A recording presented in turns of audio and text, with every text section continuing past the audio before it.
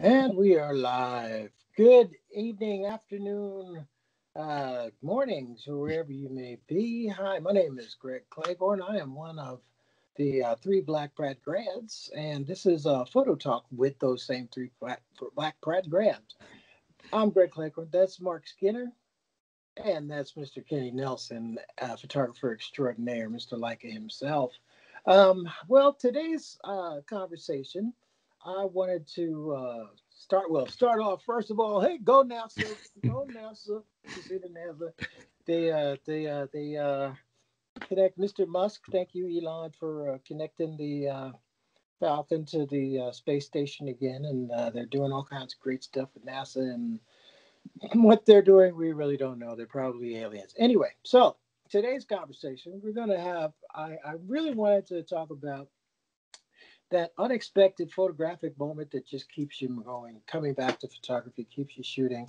And uh, I wanted to call this one just unexpected, that ooh moment, you know, when you, whenever the visuals in through the viewfinder or on your screen come through and you look and you're like, ooh, and you snap the shutter or you don't. And it just, it's that moment of excitement that uh, keeps you going through it uh, you know, photography is challenging. It's expensive, and uh, uh, now, thank God, with the phones and uh, you know, uh, prosumer cameras, and even uh, if you take it to the next level and go all in, um, photography is a an activity that never disappoints, and it will expand and go as far as you can take it. So, um, with that, do you guys have anything? If not, no, just welcome. Let's get into it. Welcome. Right, welcome. Here we go. So, for me, uh, I guess we can go to our our first shot. I uh, I kind of liked one of the biggest things I loved about photography is that um, you know, well, like back in the day, you know, because we we've been classically trained photographers, so back in the day, you know, they said, uh, you know, picture's worth a thousand words, a photograph doesn't lie. And that can't be further than the truth. Photography, photographs lie all the time. But that doesn't mean that you can't have a lot of fun with it and you can't have a lot of those ooh moments like this one. well, most unless like the grav- gravitational pull on Earth has changed or this guy's a titan or something like there's no way on earth he's going to get up that high in, in, in the air. But it's an awful lot of fun to look at. So go on. This is a sequence. I did a homage to mr Muybridge with the sequence of images. You go to the next one mr nelson uh-huh. Uh, yeah. so okay. Oh, First, yeah. First one, second yeah. one. Yeah. And third. And bada bing, you know, he's ready to throw it in there. Now, of course, you know, the way I framed it, I have the people looking up in the basket and kind of in the middle, and he's actually looking down at the basket, you know, which is, uh, it could be true, but my goodness, it is not. He's, he's one of those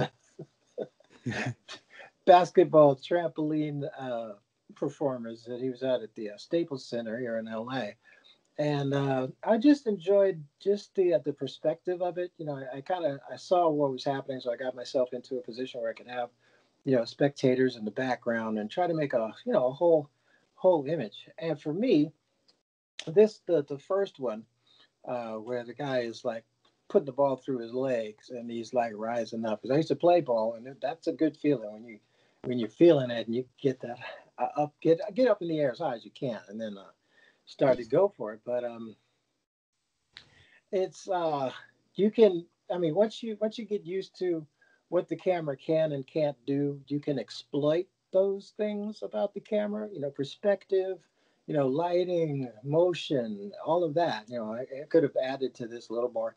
Uh, slowing the shutter down a little bit, you know, popping some light in there to get a drag effect. But uh, I just wanted to capture one that was um, real enough to be real, but a little bit stretched enough to be kind of an exaggeration of reality.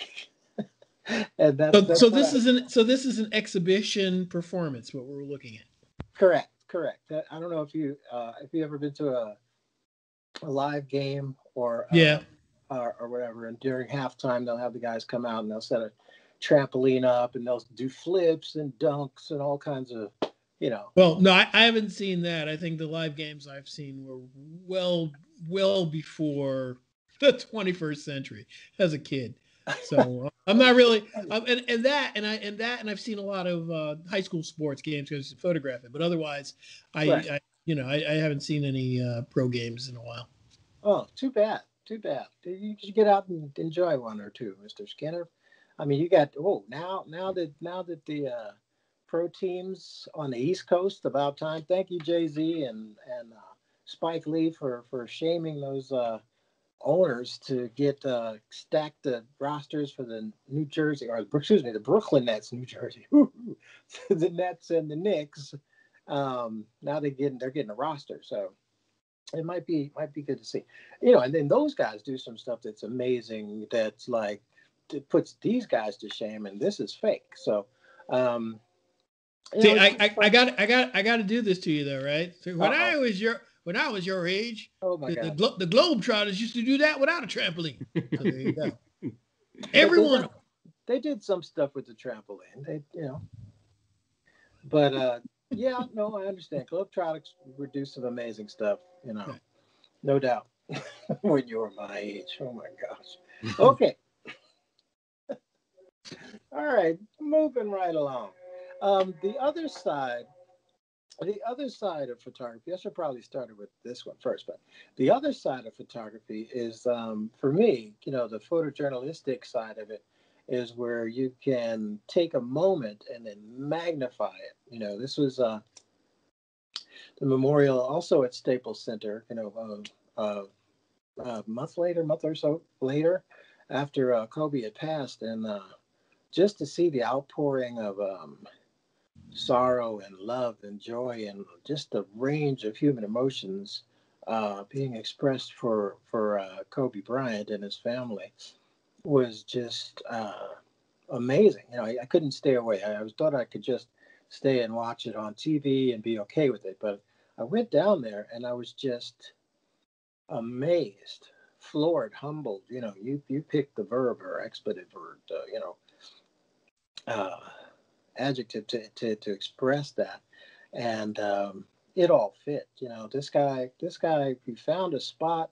He sat down. He wrote like a couple of notes. You know, rest in peace, Kobe. And he just sat there and cried. You know, I'm like, I, I had no idea the impact that um, that Kobe had on the city and his fans, and uh, you know, to to evoke such an outpouring. So um, for me, this was it was unexpected for sure because uh, things happen, you know, um, real tears, you know, very unexpected and definitely, you know, an ooh moment in the in the uh, emotional side of it where um, man, I, I, wanted to get closer, but I stayed respectful as I wanted to get the tears were hitting the ground, and that's all like a slate or concrete, and it was changing color, and I, I was just I was just amazed at um, the outpouring that I saw from him and a number of a number of people throughout the day, and uh, you know the news reports and others. So um, that's one of the great things I love about photography that it can it can capture the absurd and make it just as vivid as anything, eh, but it could also capture the very human and very uh, poignant and magnify that as well. So, um, for something unexpected, something in that ooh moment, those are my submissions. And mm-hmm. love to hear your comments. What do you guys think? Anybody? Anybody? Yeah. No, I mean it's it's very interesting, of course, that we are able to actually read what he wrote. So you know uh-huh. that's that's pretty uh, prophetic in itself. You know, uh, yeah. R.I.P. Kobe and Gigi. Yeah. Uh, uh yeah. I, I, and, of, and of course the the teardrops which you mentioned are also visible there. So it's uh, quite powerful for sure. Yeah, yeah I, I, think it's a very I think it's a very powerful photo. I don't I don't know if the billboard is necessary, as Ken pointed out. If one yeah. really views the photo, and if you were close enough to get in this crop, to get. I mean, it shows you immediately who it is, so it's good for uh, a news feed and a news uh, something in a news cycle. But if it were just something on a wall somewhere, I would I would definitively have cropped closer, maybe made it make it a uh, horizontals is to show the isolation. Um, and the, the thing that would have been unexpected for me was how it was written. You know, he you know he writes this impromptu memorial himself, and even after the memorial, because that's a cathartic act, he's still broken up after you know you know he, he can't express you know the grief well enough to really you know can you know maintain composure even after you know putting uh, chalk i'm presuming chalk, chalk to the ground to, to to kind of write something to kind of you know see it written you know Yeah. Uh, Yeah. Yeah, it's pretty powerful, and I don't, and you know, it. I had a relationship with this today, not with this particular image, but just in terms of uh, what happens in an emotional moment. And basically, what was happening was that I was listening to actually um, "Can't Trust It" today. you know, but Chuck D. And okay. right, and so I was actually looking public enemy Public Enemy, and I was looking at the words, and the words are extremely, extremely powerful words. And I was like, and I, I always said the words, and you know, sometimes you don't know all the exact words to the to the song, but they're in front of me right now. I'm looking at them, and you're reading them, and you're like, holy cow! Hmm. And it's been what 30 years, uh, Just- yeah thereabouts yeah and that those words that are spoken and can't trust it are powerful and they affect me today 30 Mm. years ago so in relationship to what's happening here yeah the expanse of time in terms of words and the emotions that were felt during the words yeah i don't think they disappeared all man Yeah, good, Nope. good, good art does that. Good poetry, not not blowing any horns, but good poetry talks through time. You know, uh, good, good, good, pho- good art talks through time. So yeah, for sure. yeah yeah i yeah okay sorry i'm i'm i'm wasted No, no, Well- go on, express that. What's going on? What yeah no no no i'm just emotionally wasted just thinking about it again so Okay. Yeah. So what are you thinking? I mean, what uh, what is it that's capturing you? Well, I mean, the What emotion is of that- what- people what ooh suffering. moment are you having? You're having an ooh moment. Well, no, I'm just hum, human suffering, man. It's terrible, Oh, you know. So yeah, and so I'm making that connection right now. So empathy, and, sympathy. and unfortunately it's continuous too yeah, yeah. or should I Unfortunately, say continu- continual it's not continuous it's continual yep, yep. So Well, it's part of that that that human experience thing, something that we we all have been through joy and and pains and you know all the whole uh, cycle of emotions, so that Mhm. when we see it, we Yeah. can identify with it and you Yep. know be like empathetic. You said uh, Yep. to to whatever that emotion is. absolutely, yeah. Um, and I mean, not everybody can capture that.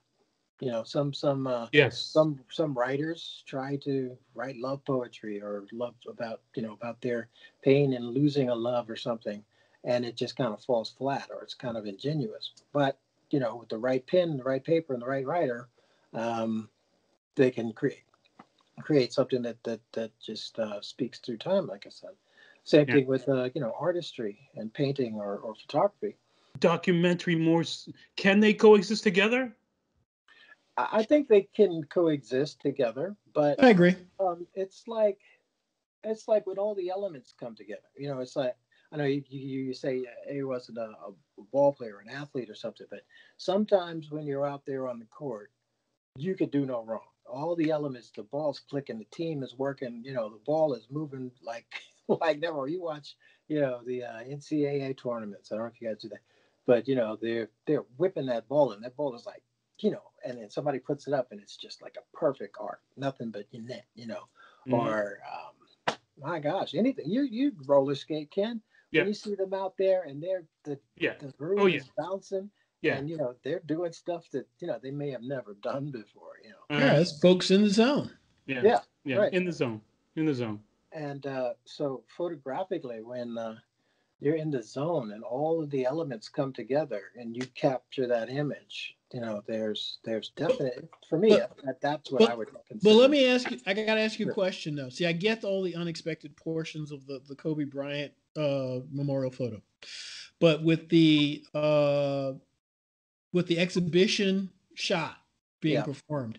Right. I mean, I think the only unexpected aspect of that is that there's a trampoline that's outside the frame because Right. it's a it- you know since it's an exhibition, he's not Mhm. you know he's not set up as a team. You know, you know you can tell it's not a, a game or live game. It could Um, be. Could be Well, on a breakaway, but Mm. go ahead. the only the first one, and I think you even pointed out the first one. You look and you go, "Holy mackerel! How how high can this guy jump?" Dude's got you know, hops. yeah, yeah, you know, you look and go, you know, how do you do that? And uh, but I think by the time you get to the third one, you you say, oh, okay, there's a tramp, you, there's something else going on here. And then Yeah. you, once you said there's a trampoline, uh, you you know, I think for me as a as a casual uh, observer, I go, oh, okay, I get it. You, you The first a little, one- you feel a little betrayed. A little Yeah, the first one right there makes me go, "Oh wow, this is incredible! How Right. did he do this?"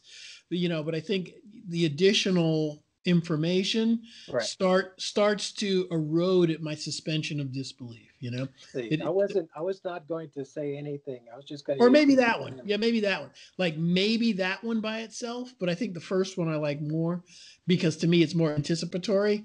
This one, I I know he's going to, to slam it.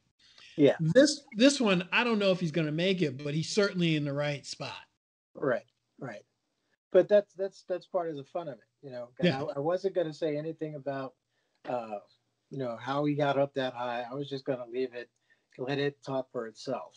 And uh, misleading as it may be, if I didn't give you that extra information, you know, you'd you would have to, you know, come to your own decision as Yes. far as. Well, I was going to ask. Yeah. I was going to ask, how did the guy? Yeah.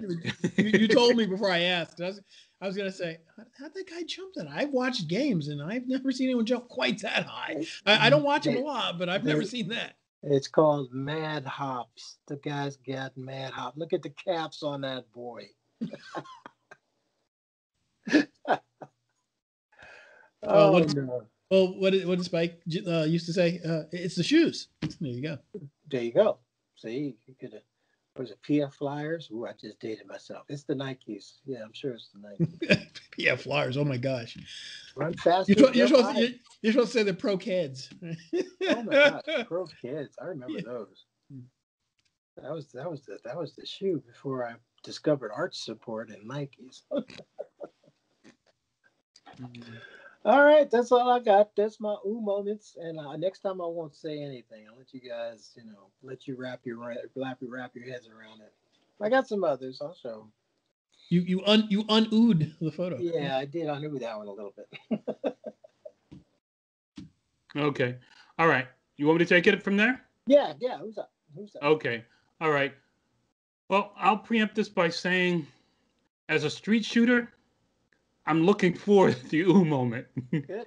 Right? Makes sense. Yeah. As it's, it's, it's sort of that's all I'm there to do and, and try to figure that out. And you know, either you you either you you you think you capture it and then you confirm you capture it in the edit, or you think you captured it and you confirm that you did not capture it in the edit. right?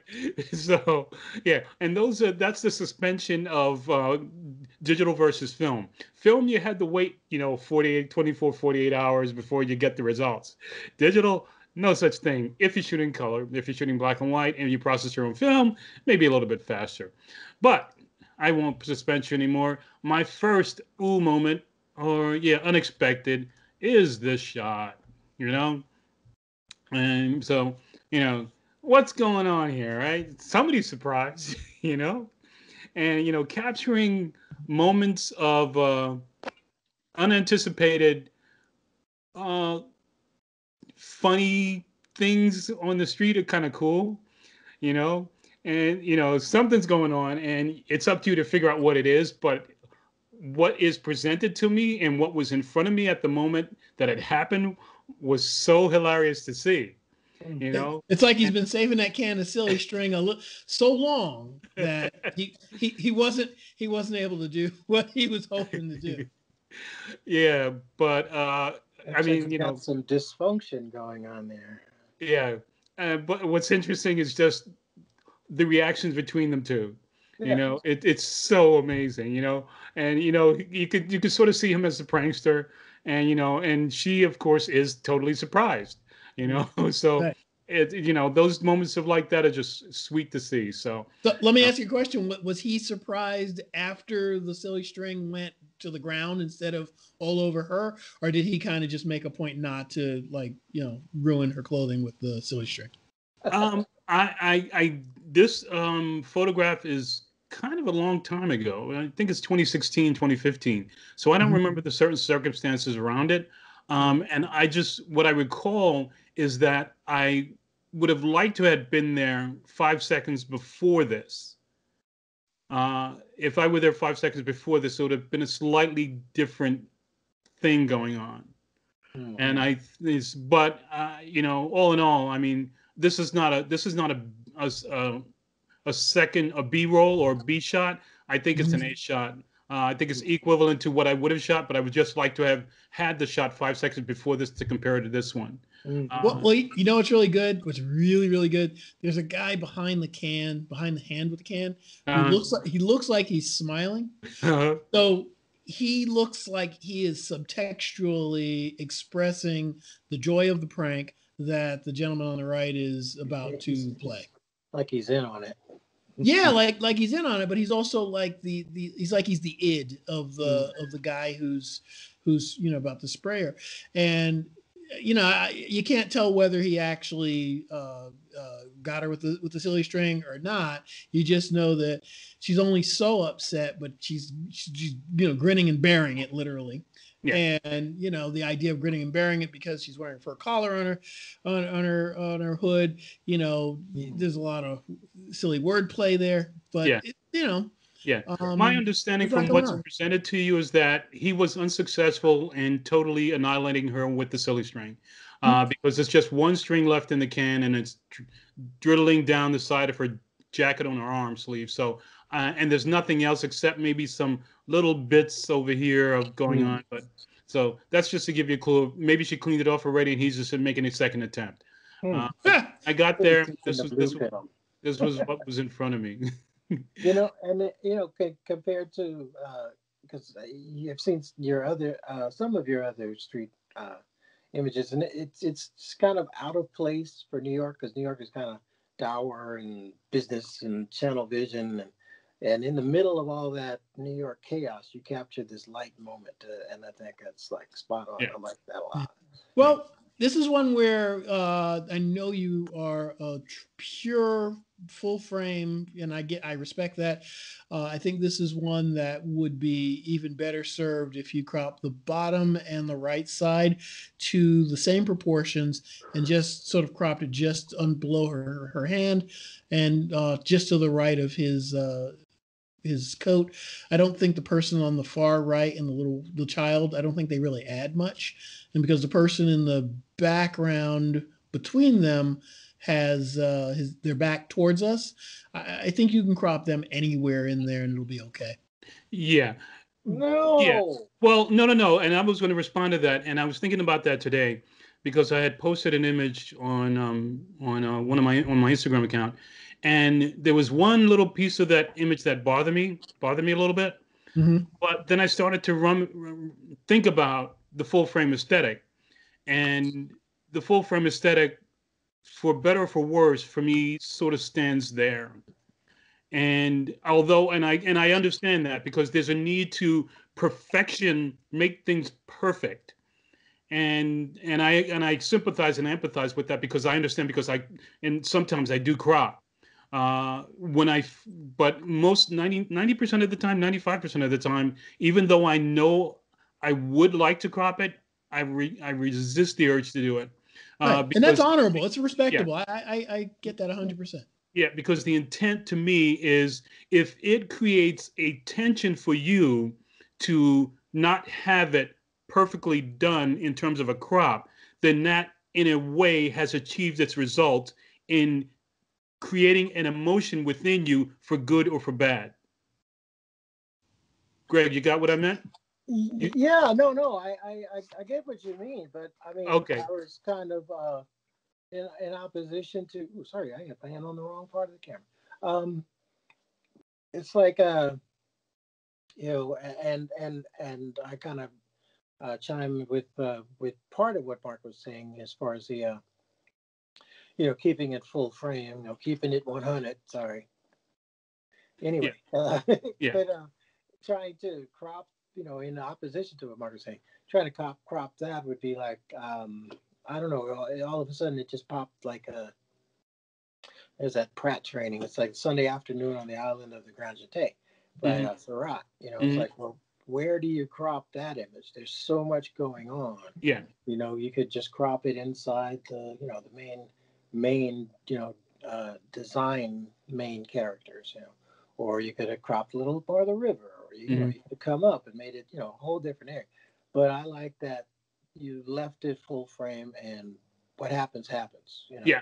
What what how do they call it in film? Or um, you know, your your uh, oh my gosh, I'm forgetting else. No, I can't forget. Anyway, the uh, the mise en scene, you know, where where you just capture what's there, and mm-hmm. I like the way that I like the way it falls. I like the way it lies, you know, and and the moment that you captured, I think uh, carries all of the accidental things that happened uh, elsewhere in the frame. Yeah, yeah, okay and I, yeah, and Greg, Marc, I agree that cropping is is appropriate, and it actually it would be good here.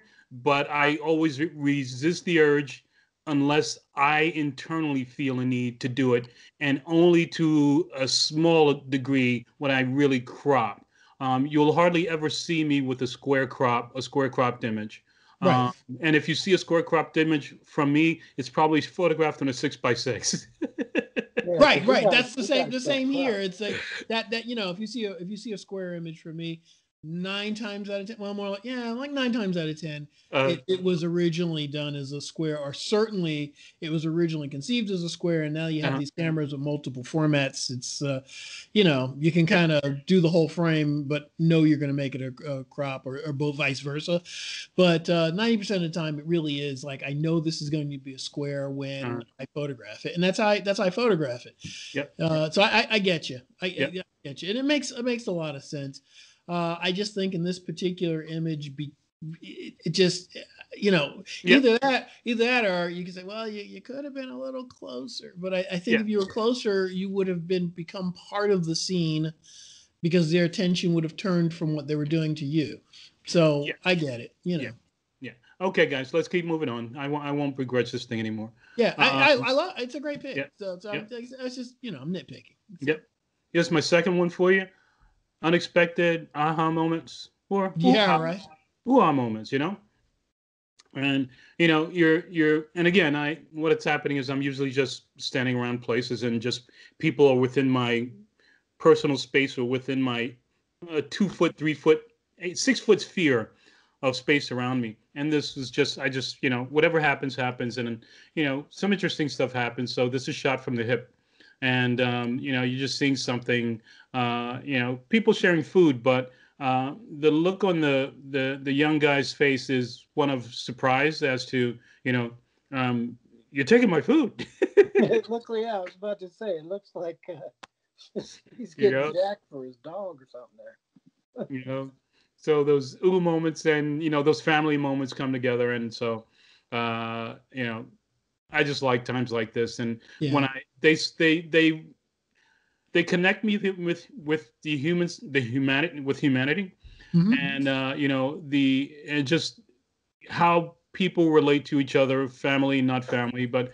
you would figure that this is family uh, that's doing this to one another. So yeah. Well, I, I, think if I think if his mouth weren't open and her mouth weren't open and the, you know, his eyes weren't quite as closed as they were and uh-huh. she weren't wearing a little bit of eye makeup, you know, it's like the eye and the eyebrow and then the mouth and the other eye and then the the noses are very similar. like all of those yeah are, are very much the same and they so because there's such similarity in the shapes of each feature, uh-huh. uh, the profile and then the full face juxtaposed against one another is something we've seen before, but this is different because it's not contrived. It's very naturally uh, uh, created. It's a naturally yeah. created juxtaposition. So that's really engaging. I think the, you know, and then, you know, we, we've all as a kid have had to share food uh-huh. you know maybe not as an adult some people but certainly uh-huh. as a child you've had to yeah. share food with somebody a parent a yeah. sibling a cousin a friend somebody yeah.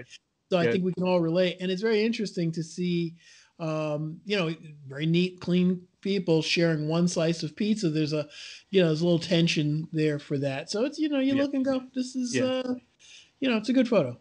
Yeah, you, you, it's funny because I was I just thought of something. You know when you had total ownership of your own food, right? No, it's my food. No, it's mine. No, it's mine. Right? You remember that? It's like I'm not sharing with anybody. And you know, you get to the point where it's like, well, yeah, I, you know, I want it for myself. No, you know. That goes out the window when you Right. have a companion, you know, and your, when Yes. your girlfriend wants a piece of your pizza. Guess Yes. what? You Yeah. don't have autonomy over the pizza anymore. Or Unless your you go out for it or something. Yeah. Or, you or, or, if, or if you have a child, that's it's the Yeah. same, you're, you know, Yeah.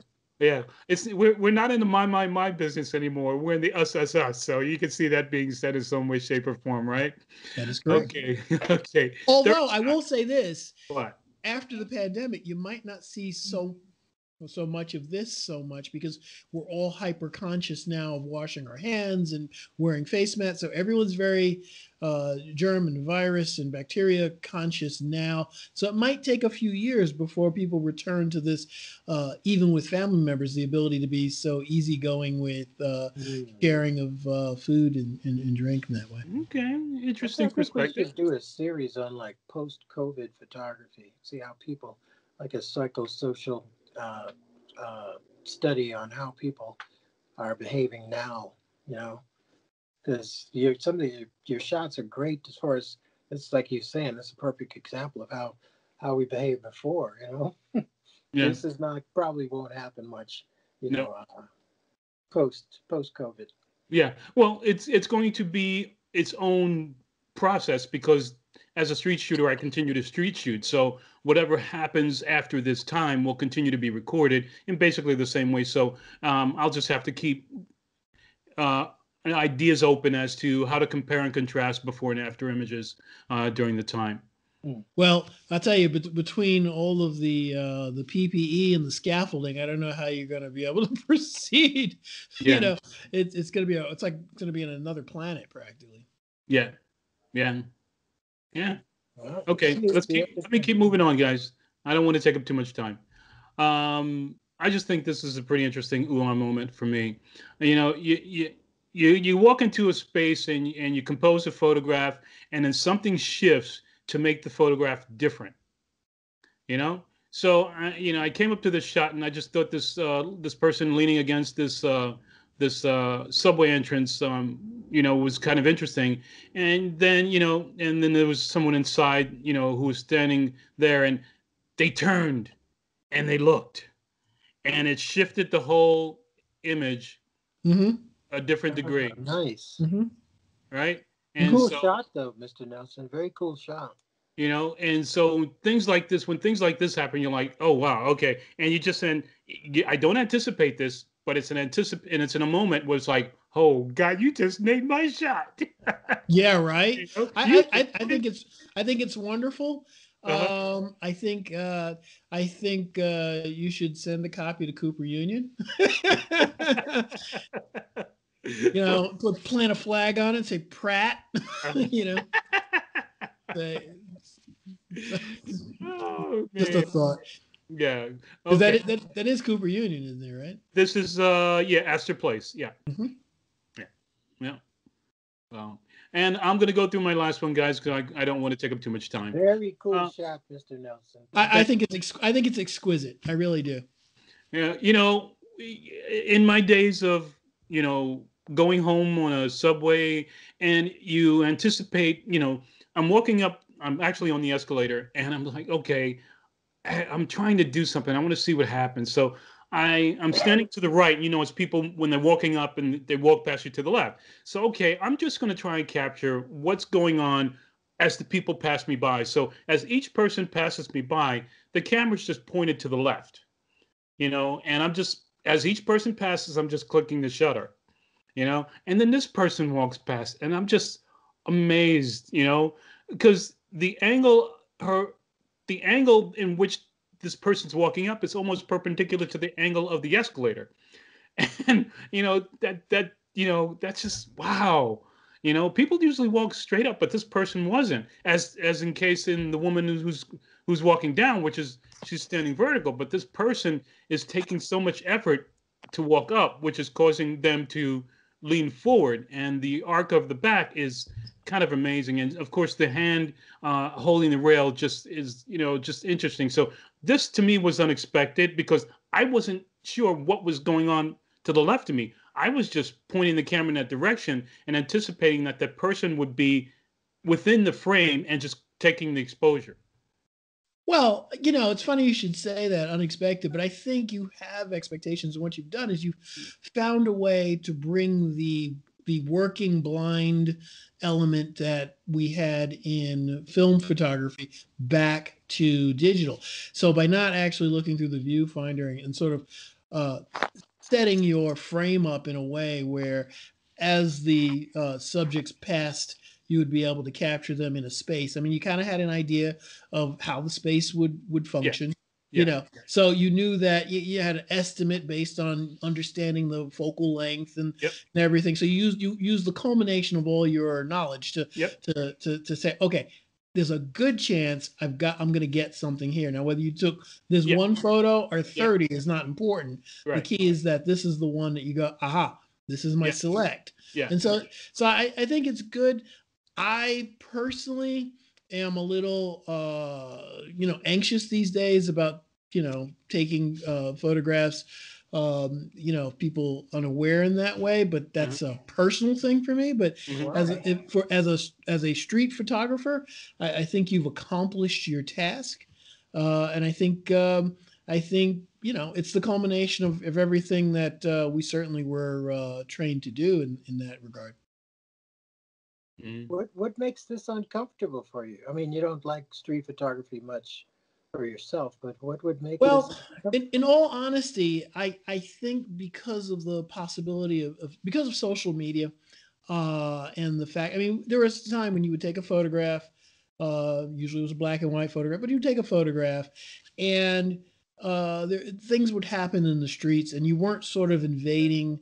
You know, I think I have a, a, a stronger sense these days of in, in, invading someone's. Uh, maybe I'm going to coin a phrase here. Their you know their sense of their their psychic they're not psychic but their yeah their psychic sense of of of sovereignty you know we're, we're capturing people street photographers uh usually when they are pretty much lost in their their own activities and well, so they're being themselves they're being themselves exactly and so, at this point in my life i i don't like uh encroaching uh, I, I, feel it's a little bit of an invasion um, of their privacy, but they're, they're doing these things in public.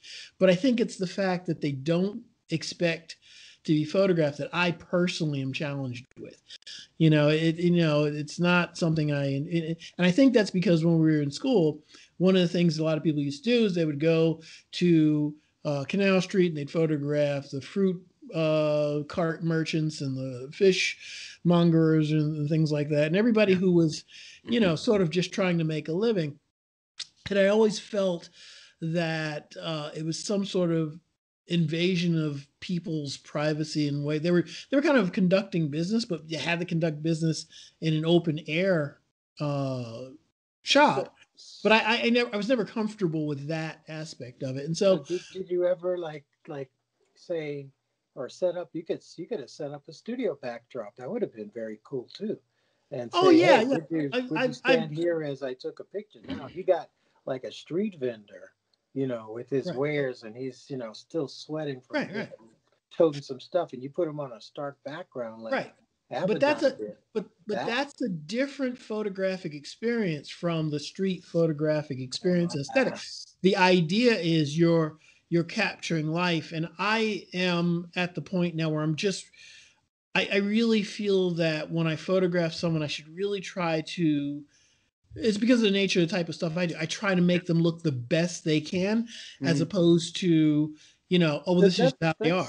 But you're su- you, you're superimposing your aesthetic on them. No, what I'm saying is, for me, I can't that's not me. But I get what what Ken's doing, and I think mm-hmm. I, I, I applaud him because what he's doing is exactly what's supposed to be done. I just don't have the. Uh, it's just not in me right now. It's just I can't I can't. I, I'm just in a different place. but I think you did exactly what's supposed to happen, and um, it's just not me. But I, I but right. I see where you've done what is what is absolutely essential for great uh, classic street photography. You know, I, I, I get it. It's all it, it's all there. It's very yeah, good. Yeah. And believe me, I, uh, Marc is definitely not by far uh, not the only person who has those thoughts or ideas. Just, I mean, because everyone has a certain sense of personal um, space that they don't want to be invaded, even in public. Um, and I, I, think if you speak to a great deal of uh, street photographers, they have trepidations about this as well. You know, uh, because I have a certain level of of there's certain things I won't photograph, right? And you know, I won't photograph homeless. So right, no matter no matter how uh, you know what I'm thinking, I I don't photograph the homeless. Or if I in fact think it is worthwhile to photograph it, I will never show it. Right, and that's a promise I made to myself that I will never show it, even if I photograph it. You know, so but and so that is me understanding where that that whole thing comes from houseless. well, I ugh. Okay. So let, let me flip the script. Have you ever been um, out and about doing what you do, and um, you notice that a street shooter has snapped a picture of you doing what you do? How, how oh yeah, that... oh yeah, yeah. yeah I, I've I've been walking down the street and seen people photographing it. Me. Yeah. And well, what I think first is gee, maybe I maybe I should have had a, a, you know flounder. Maybe I should have shaved. yeah, I should have had a, I should have had a flounder in my hand and should have tossed it to them. They would have gotten a better picture, you know. Uh, because I always go right back to you know how intrusive it was for the vendors. You know, everybody would come back to class, and it'd be you know ten people in the class, and seven of them would have photographs of people on canal streets selling food. You know, it's just a, you know, it's just kind of one of those things where it, it haunted me. It haunts me. You know, yeah. but yeah, I've seen I've seen people take pictures of me as I've walked, and I, you know, I I haven't heard the click, but I've seen them. You know, I I can see it's a 35 millimeter. Uh, you know, lens and, you know, they're aimed up, but they're tilted, you know, so I could see that, you know, maybe I'm in the corner. Yeah. You know, you know, you at a certain point, if you if you photograph enough, you kind of know what the field of view is, and uh, you know, and then just after uh, you pass, or just before you pass them, you know, they bring the camera down, which means they got the shot. They're checking, they're checking the back. You know. so what are what are your feelings? uh, well, I think you, you say, said hey, you're something tomorrow, release, buddy. No, no, no, no, no. You know, I'm I mean I'm really kind of torn. You know, part of me goes, all right, someone's taking a still picture, you know, or I go, eh, you know, this is how I look today. But I think a lot of people today are less uh, accepting of this is how I look in public today. We're far more image conscious as a society in general, hence the selfie. And I think people want to be seen in certain ways. And I think that street photography does not lend itself to the way people want to be seen unless you're in an area where everyone uh, makes sure that they are uh, in their best looking attire and their makeup is done and their hair is perfectly coiffed uh, all the time. Okay, that sounded a bit contradictory. A little, yeah. No, no, no, no, no. Oh, no. What, I'm sa- what I'm saying, what I'm saying is, if you're someplace, I don't know, like, uh, I don't know, uh, Soho on Broadway, yeah. everybody, yeah. everybody there, you know, pretty much they're shopping and they look like they're shopping and they're, you know, they're dressed. They already wear the styles for the most part. So you're going to get yeah. a lot of people who are going to be okay. But if you go somewhere like Midtown or even Wall Street, where people are kind of just wearing what they wear to go to work, you know, you might get a little different. Uh, you'll get more natural looks from people because they're not uh, so um, aware of themselves in public, and they may not be aware of the camera so much, and you know, they're not they're not practiced at uh, looking great, you know, all the time. You know, they practice looking great, but not all the time. Yeah. I, I don't know about that, Marc. I, I think maybe this is a discussion for another discussion. Think, I'm going to argue that I think 99% of the people who walk outside know what they look like and either accept it as that being not acceptable, but they're going to do it because they need to do something. But for the most part, they're going to check that mirror before they go out. Right. But what I'm saying is, say I'm acceptable enough or I'm better than acceptable, and damn, I'm good, and still gonna go out. Right, the, right. But the people who are gonna go, but the but the people who are gonna go out, and because Thursday they, they've they've run out of they run out of great tops, or their you know their pants aren't right, or their good shoes got wet in the rain yesterday, or whatever it is. Uh-huh. The people who are just wearing whatever they got because it's Thursday or Friday, well, not Friday because maybe they're going out after work, but it's Thursday, and who cares? Uh, I'm sympathetic to the idea that you know maybe maybe Thursday at 5 p.m. in the summer people are not looking their greatest because I think you're hiding.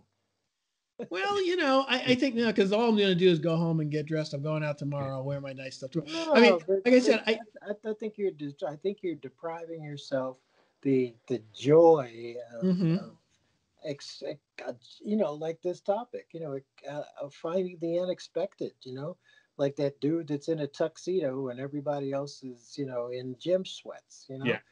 Well, I think, Greg, what you pointed out that, very that, easily, but you pointed out that, I mean, you, you went to specifically an exhibition, which isn't just even a three hour game. You went to a small, what, half hour event, which is a, you know, an exhibition, right? You know, of one individual at the most, you know, how many, I don't know how many people there are, but, you know, it was, you know, it's a time limited uh, event and you know you found unexpected views of a person performing you know i mean you expected him to jump up and and you know shoot the ball into the well, hoop. but you did but it, there was actually a, a, a, tournament basketball game going on there. Right. And between but, games those guys came on. I wasn't expecting that. That i didn't go for that. Right Right, but what I'm saying is, okay. So what you're saying is that you you that the you know the halftime show or the the intermission had an unexpected event, but in terms of photographically, once he got on the trampoline, you know, you may have expect you did you definitely expected him to make the shot. What you didn't expect was maybe those particular shapes, or maybe that particular. Uh, he, he missed more than he made, to be honest. Right, but but your expectation was for him to make the shot, whether he made the shot or not. No, was not. My my expectation was to capture some unusual images. You know, I got some different angles where he was just it was just him and the skyscrapers. Mm-hmm. You know, I got some shots of you know uh, tight. I went in tighter and I got him. You know, like five feet over the spectators, and the spectators are you know gawking, uh, you know. Right. Right. Now, everyone's has been a spectator, and at this point, if you've been to any event, you know, yeah, we can photograph you and blah blah blah blah. But the the gentleman performing, he understood that no matter what he did, he was subject to your lens and countless other lenses. So whatever you got, if you, if you notice, none of those people on the sidelines were taking any pictures. Right. Well, twenty people that were just kind of right. But I mean, you know, how many people were on your side? uh, actually, it was just myself and one uh, house photographer. That okay. So, so he knew at least the house photographer would be there. You were you were the unexpected in that in that instance. Yeah, for sure. I still okay. think you're hiding, but go ahead. Okay. I mean, you can say I'm hiding, but I, I, I, think it's not that I'm hiding. It's that I mean, it doesn't mean that I don't see these things and go, aha you know, uh, and I, I don't visually, you know, you know, you do the visual click in your uh, in your head, and I know Ken, you must That's have done this when you were not carrying your camera and just traveling, and there were photographs. You went, uh huh, click. Yep. Uh-huh, click. Because in New York City, there's just stuff going on. Yep. All the time. Yep. And That's I mean, why you carry the camera with you. So I, well, I, well, there's times that I do carry the, the picture is not photography. Well, well, I mean, if I'm driving kids to a, a, a doctor's appointment, you know, I can't just stop and, and, and work. Sometimes I can, you know, do that occasionally, but I don't because I got to get somebody someplace at a certain time. Yeah. But hey, I guys, understand.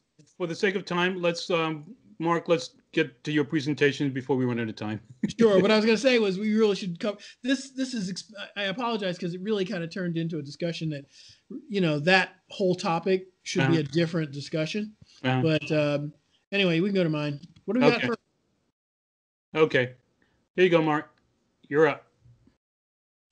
All right. Now, Greg, when you proposed this uh, idea, I had another series of photos. It was just a one individual. Uh, uh, but, um, it- you know, these two uh, young people are part of, uh, they're part of a pageant a few years back uh, called the National American Miss Pageant. And, and I was able to photograph them.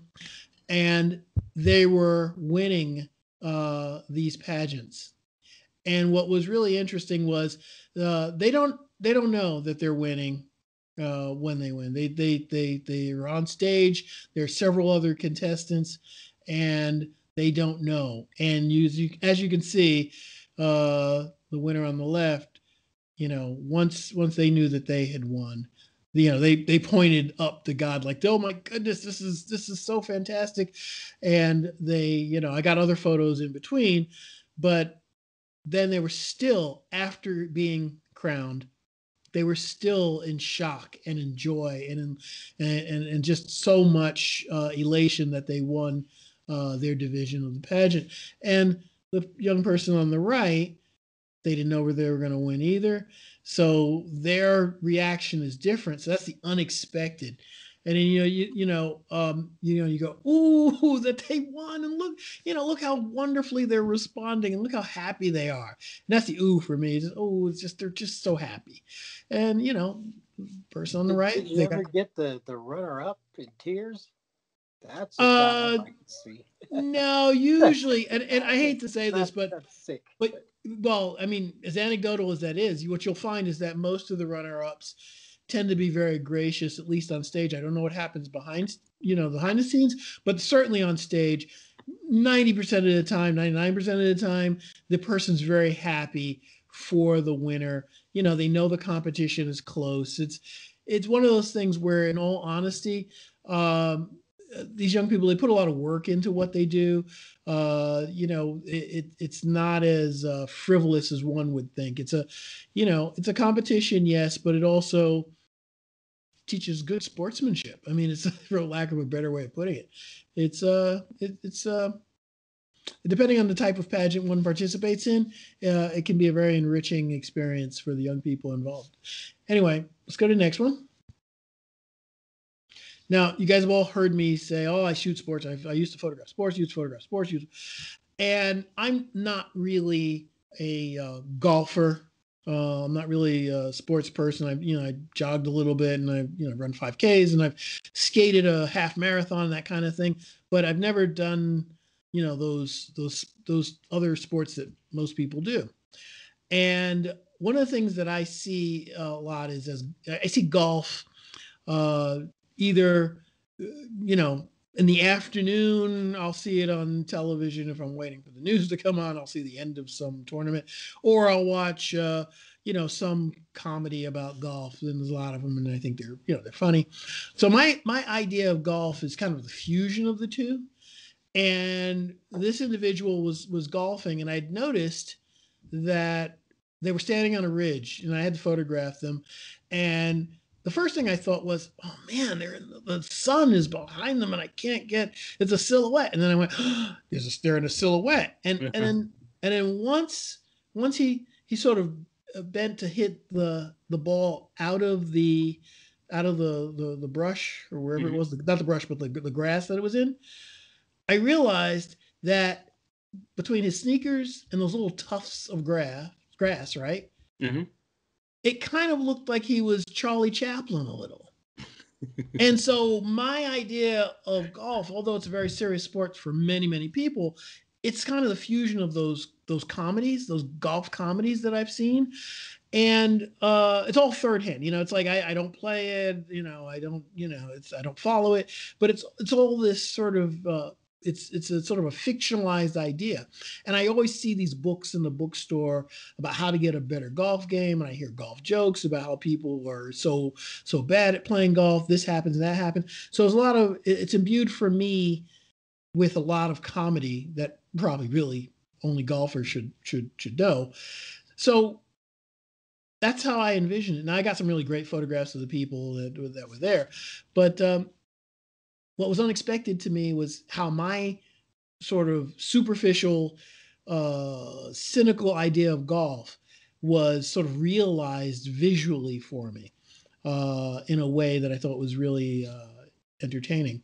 And this isn't the malign golf. I'm sure it's a great fun sport. Maybe maybe one day I'll play, but you know that was it. That was that was what was unexpected. How how much you know the comedies that I'd seen had had just made me feel that wow, this guy looks like the big bad wolf over his head. well, yeah, right. I mean, you know, it's kind of quite a Rorschach test there, but yeah, I see what you said. So yeah, and they always talk about you know how tough it is and so forth. So there's a lot in there. Anyway, and you go to the, the next picture. Yeah, I mean, let's just stay on this for a second because, mm-hmm. um, uh, of course, as you just explained to yourself, you know, your thoughts behind the image, and of course, my thoughts are absolutely totally different.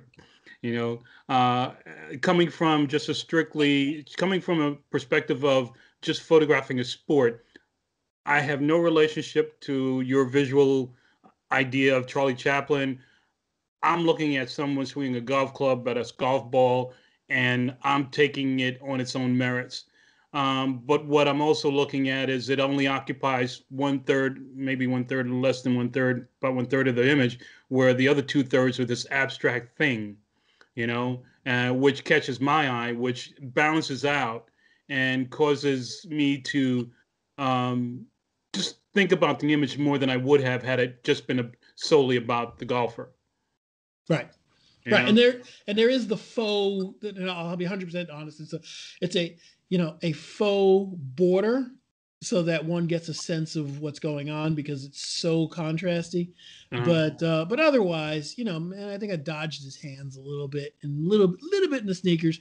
Otherwise, that's that's a straight. Yeah, I, I honestly, man, um, all your your information and your input is great, but I'm I'm just actually willing to dump it, um, and take the image on its own merits because I enjoy the those little pieces of grass near his feet, which mm-hmm. me references slippers.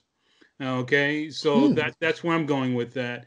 And you know, although I know he's not wearing slippers, they just right. be reference slippers. So therefore, I'm thinking that. And also, of course, it makes a relationship to the uh, the foliage which is above his head. So it links them together for right. me visually. Right. So I'm I'm like that, and so, so it's, all, it's almost like he's playing at dawn. Uh, I'm sorry. Well, I mean, I guess there's so much dark area above above his, his, his head that the it's kind of like night, and you've got slippers and. You know. Mm, well, no, I mean, there's enough information for me to understand that that's probably trees above his head. Those are trees, okay. right? Uh, so it's not that; it's just the what you've what you've created within this image uh, intrigues me to the point where your backstory is almost not needed for me. Right. You know, I'm enjoying the image on its own. And and for, for and your input, I'm going to just not accept it, although that's valid for you. For me, I'm just going to enjoy the image on its own because when I look at it, of course, as we always speak, we're bringing our own sensibilities to it. So I'm just right, going to continue to bring my own sensibilities to it. I understand yours, but I'm just going to continue to to enjoy it for what I for what I visually like about it. That is fair enough and very much accepted. If you still like the image, then that's even better for me. Yeah. Okay, Greg, All you right. got anything? I like the idea of the Chaplin thing in his uh, non-sports aesthetic, but uh, no, I got nothing. Okay. Cool shot. Cool shot.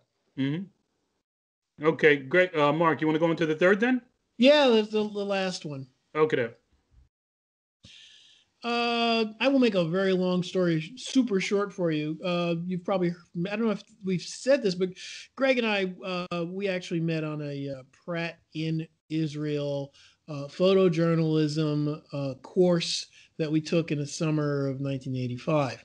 Camera, and camera obscura and yeah, yeah, it was a it was a Pratt it was a Pratt course, right? It was a whole an entire summer in Israel. The Camera Obscura, we uh, studied photojournalism there, is what they said. So that's what we did, and uh, so there, what we did was one weekend because we were there for uh, like a it was a little over a month, right? It was like I don't remember how long, but one of the weekends we uh, a, a, couple of us went to uh, Egypt. Now back then, I don't know if they still have it now, but you could you could get on a tour bus from Tel Aviv to to to Cairo uh you know on a on a friday morning and then you could return was like sunday or monday or something like that and it's probably sunday and uh, you could just go spend the weekend in uh, cairo and as long as your passport was in order you were you know good to go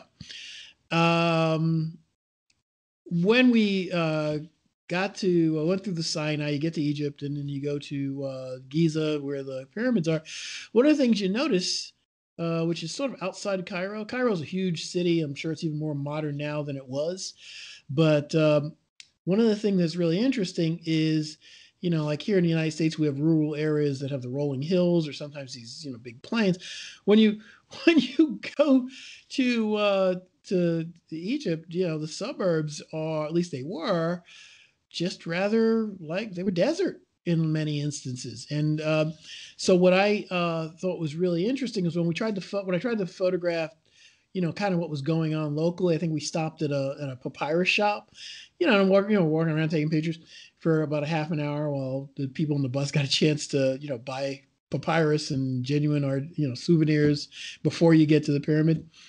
Uh, that was when we took the tour. That was when we took the tour while we were in Cairo. We took the tour, went to, to, to Giza. And so you know, you look and go, wow, it's like an almost like an old Western town. And we went, and it was, I think, July, and it's absolutely just scorching.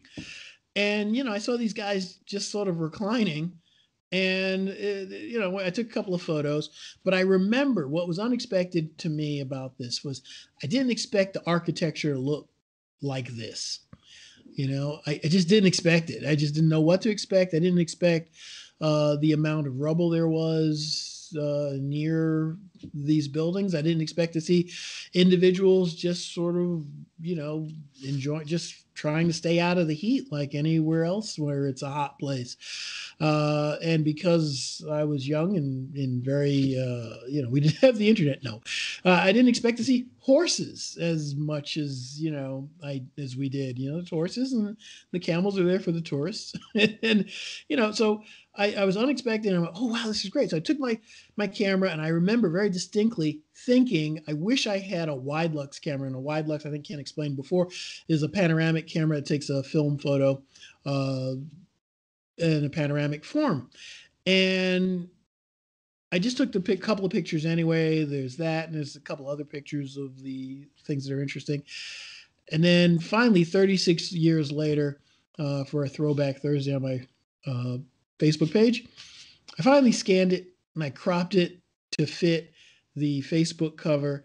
And uh, that was the ooh. I was like, wow, after 36 years, I finally got the photograph very close to the way I envisioned it when I first took it, because it always bothered me uh, when I processed the film and looked at it that I didn't have that that that slim horizontal format that I really wanted for a lot of those photos there because I wanted to show just sort of the landscape. And that's really it. So it's kind of a unexpected and then also ooh in a very separate way. I think the other ones I think you know it, it talked about unexpected and in, in, in, ooh in, in, different ways, but I think this one is probably it's uh, the biggest expanse of time between the unexpected and the ooh. That's it. Yeah. So tell me how you what within this image, and I you may have just said it, but I'll ask you to maybe say it a different way.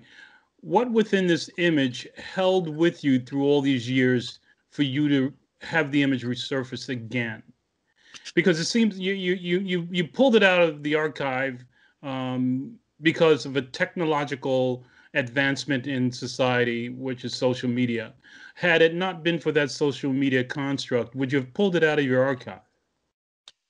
Uh, no, actually, what happened was, uh, uh, in in all honesty, uh, because I have not been uh, doing the type of photography I usually do, which is portraiture and that kind of thing. I started looking at some old slides that I had just to kind of uh, to see what's going on. And in all honesty, you know, Greg's been after me for a couple of years now. Go through your old stuff from Israel and Egypt. Go through it. You got to go through it. Uh-huh. So because he's been like after me, and I, okay. you know, and I looked and I went, eh, let's see what he's, what he's got there. And then when I saw it again, I went, you know, I remember this. Okay. so that that was really it. You know, okay. I mean, when, was, when was the last time you saw this image, or at least you you before today, before you last saw it? I mean, between uh, pull it I out. Would, I would say about. I'd say about two and a half years ago. Okay. And you know, we weren't doing anything like this, so there was really no reason. I didn't have a a little, you know, cheap throwaway scanner then either, and it was sort of like, what am I, what am I gonna do that for? Okay. So I'd purchased a scanner so I could get some of the old-fashioned stuff that I had done in the uh, 80s and early 90s scanned, um, just so I could kind of see what they looked like compared to what I've what I've done with the pageantry in the in the 21st century. You know, kind of you know see what's going on in, in mm-hmm. terms of my artistic vision, uh-huh. see how it's changed and how it hasn't. Yep. And uh, so while I'm looking through all this stuff, you know, you know how it is. You you you sort of you you go through the archives and you you know it's your own rabbit hole of uh, imagery. Yeah. And uh, yeah. You know, and memory and memories. Yeah, and memories. And when I saw this one again, I went, yeah, you know, I remember this because before, you know, you look at, oh, it's the stuff from here, and I stuff, uh-huh. and I because I had no way to scan them, so it didn't matter, you know. So uh-huh. like, oh yeah, I got slides, I got lots of slides. Uh-huh. So that's really it. Okay. Great. Looks like New Mexico. okay. All right. Uh, you want to uh, sort of sign Would us? Would you prefer I showed a photograph of the pyramids? I could do that for you if you like. Uh-uh, no, no, no, no. I, I, I understand what you're saying. I think you know with all that's going on, and you're like right, right there in the Mecca in New York. It's just like you said. It's a plethora. It's, it's a lot. It's just target rich, but you do. Well, I, I, no. To speak to that, I think you're absolutely right. But I'm I'm really in a place now where what I have to do, what I do do, has to be has to fit into a schedule. I'm still I'm still very much engaged in in, in the parenting process with my kids, and and and that's really it. You know, mm-hmm. it's just all there is to it. Yeah. You okay? Uh, if you can, if you what you say, if you if you say you can, you can. If you say you can't, you can't. It's what you do with it. All right, that's about all I got. Um, you know, there's cameras you could put in your pocket or put you under your lapel. But uh, unexpected. All I got to do, I've said it before, and I'll say it again. I said it before. Get out there, take pictures, explore your camera, get get used to uh, you know the the way the machine works and um, man, it's a big world out there, you know, and things are happening all the time. You never know what people are going to do, and if you don't have your camera with it, you'll, with you, you'll never capture it. So uh, that's all I got. Seek the unexpected, you know, and uh, there are lots of ooh moments out there, and uh, I say find them. They're out. They are out there. Just got to get out there and find them. That's it for Photography Talk with three Black Pratt grads. I'm Greg Cleghorne. That's Kitty Nelson. That's Marc Skinner. Please subscribe. Leave us a message. You know, let, let, let us know your thoughts, ideas for topics, and uh, ring that bell so that you know when uh, a new episode is posted. That's it for me. Take a good care. Keep shooting.